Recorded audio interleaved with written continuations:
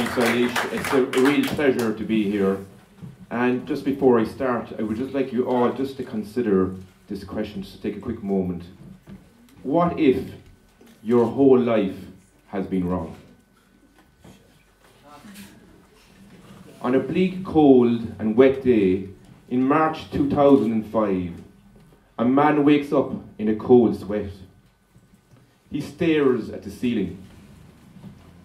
His mind is racing with thoughts of anxiety and doubt. His stomach is churning. He thinks, I can't continue living the life that I'm living. He's overcome with a crippling depression and a gnawing anxiety. He just can't get out of that bed and face the reality that he's created. He asks, Why does my life feel so wrong? Well, if anyone was looking at this situation, they would think, well, this guy's got one serious hangover, or he's one step away from seeing a psychiatrist. That guy was me. But before all that happened, I was living the life of a successful sales insurance guy, hopping around from door to door, calling in business people and unsuspecting homeowners, selling personal accident insurance. So, to take you through a bit of my day, I used to go around door to door and I call into these people. And I remember I go to John and I say, Well, look, John, God forbid, if you fell down that stairs and broke your leg, or God forbid, John, you crashed your car and you ended up in hospital, who would pay those bills? Well, John, the great news is that this fantastic insurance policy will absolutely cover you for everything. And it was like selling monkeys, sorry, it was selling bananas to monkeys. But that was the outside of it. But behind it all, for me, there was a deep turmoil and stress within me. As in that I was very stressed and there was very long hours in regard to the work I was doing. And also the sales targets were extremely unrealistic for me. And as a result, I was on average drinking about 40 to 50 cups of coffee a day. I was smoking about 30 cigarettes a day, and also the faster the food was, the better. So for me, around this time, I was really questioning what was going on for me. And I remember I used to go around door to door, and people would actually slam the door in your face. So there was a big amount of rejection from me. I remember one case, there was um, like a German Shepherd chasing me down the road, and it was definitely a sight for sore eyes. So there's many a day you go into these daily motivational sales meetings, and you'd have to pretend you're happy and, and all of that. But most days I was going pretty depressed and pretty negative. And they had a, a very special technique to get you positive and motivated again. And I'll just share it with you there actually, but they actually, they said you, you stand up at these meetings and you go, I feel healthy, I feel happy, I feel terrific. I feel healthy, I feel happy, I feel terrific. Well, I didn't feel very healthy, I didn't feel very happy, and I certainly didn't feel terrific. Well, to say the situation was a bit of a disaster is a bit of an understatement. So there I was, I woke up in March 2005, staring at the ceiling and asking myself the question why does my life feel so wrong? Well, I knew I had two choices. One choice was continue living the life that I was living, or two, change my life and go in a new direction. But at the time, I didn't really know how. So I continued for the next number of years living this erratic and jobs that I didn't really like in the first place. I remember one of my last jobs was a recruitment consultant, and if you saw me inside in the office, you would definitely say I was probably the most unmotivated, unenthusiastic employee you ever saw. I definitely wasn't getting the employee the month, I can tell you that much.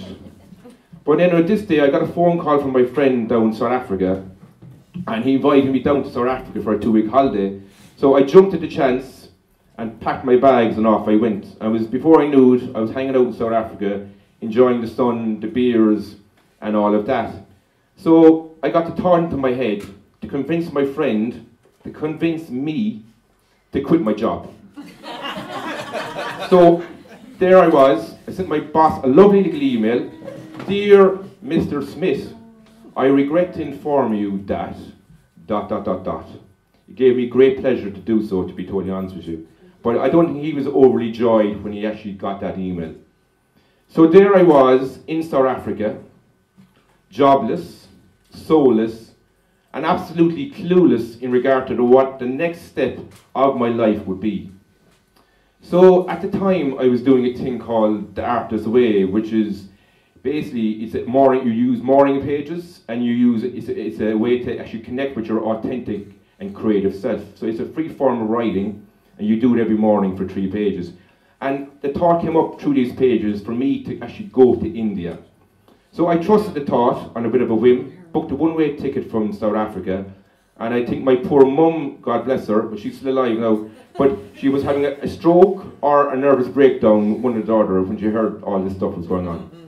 So I landed in Mumbai airport, and I was a bit of a shock to the system, to be totally honest with you, because the, the noise levels and the sounds and the whole lot was totally overwhelming for me. And this profound question came into my head. What the hell am I doing here? So, well, I said I'd better make the most of it. So I headed off to Goa, the beaches of Goa, and I lived the life of a beach bum slash hippie slash new age spiritual, whatever you want to call me. And for about three or four months, and I got away with it. Like I was saying, oh, I'm trying to find myself, but yeah, whatever that means. So anyway, but I said after about three or four months, I said I better get my act together here. So I went off to a yogi ashram and trained to be a yoga teacher. So that really kind of changed my life to a degree. So I said I felt I was ready now to go back to Cork and face the music, or I should say, face the reality of my situation. So I landed back in Cork and didn't really know or have a clue what I was going to do next. And to be honest with you, I had two choices for me when I was thinking about things. One was either to go back to my old way of living before South Africa, or two, look for a new and a different way in my life. So I chose the latter option, but I didn't know how to create this new way. So at the time, I was continuing to do the morning pages, and what came up for me was actually doing this creative writing and to explore this because I was doing a lot of writing when I was actually in India. So I decided to investigate and I ended up in a master's in journalism and well partly I did the journalism to develop my creativity but the other part was to escape the world of work for another 12 months. so anyway, I continued doing that and while I was doing this Oh, I started a little radio show called The Health Zone and which has now evolved into like an online and an offline platform for, for health and well-being. And part of the process of the creative journey with the Artist's Way for me has really been helping me to learn and trust myself. And as a result of being on this journey, I, from the, with the Health Zone, I've developed events as well as had the honour and the privilege to interview various different people like Marianne Williamson, Dr. Bruce Lipton, Mooji, and many others.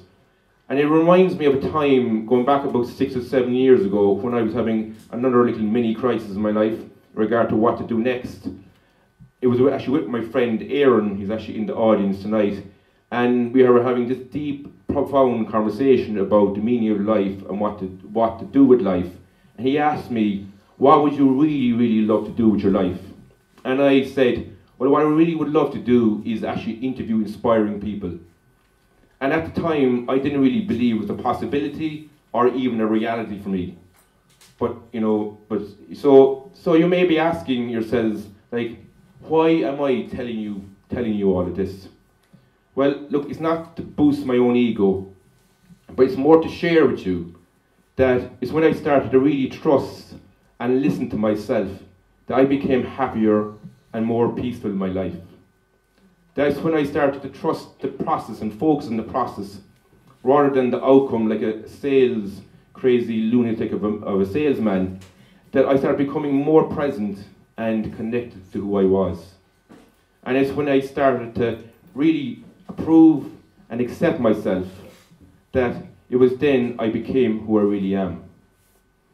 So now imagine in your own life, and you're living your life based on the approval, the acceptance, and the recognition of yourself. And you're realizing your full and true potential. As you journey through the, the journey of life, you'll have choices to make in regard to what feels right and what feels true for you. You'll no longer dance to the music or the, the drum beat of other people around you, but you'll be listening to the clear inner knowing and that feeling and that optimal trust within yourself in how to create a life which feels authentic and true for you. So the question now is how can you go out and create a life which feels right for you?